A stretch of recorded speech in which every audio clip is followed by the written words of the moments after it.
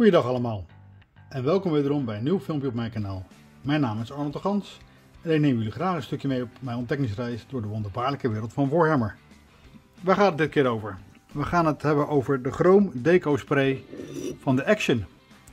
Ik zag hem staan voor een paar euro. Ik moet even, nou, ik zal even een plaatje eroverheen plaatsen eh, als ik uh, hem gevonden heb.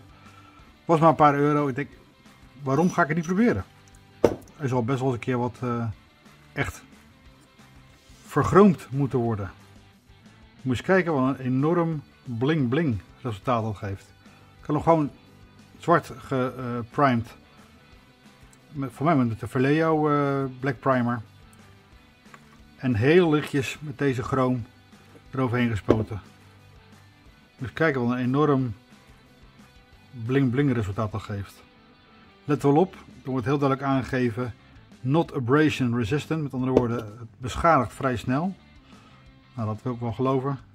Nou, je ziet het al. Kost geen eens moeite om het eraf te schrapen. Dus als je dit gebruikt, zorg ervoor dat je het met een, uh, met een vernis of uh, iets gedegeest uh, beschermt. Of doen en niet meer aanzetten. Want het is geen sterk chroom kleurtje. Maar dat gezegd hebbende, ontzettend reflecterend, spiegelachtig. Ik denk leuk om te weten, ik ga het jullie laten zien. Dus gewoon bij de Action, een paar eurotjes, klein spreetje, 200 milliliter. En uh, dan doe je je voordeel mee. Dat was het voor deze week.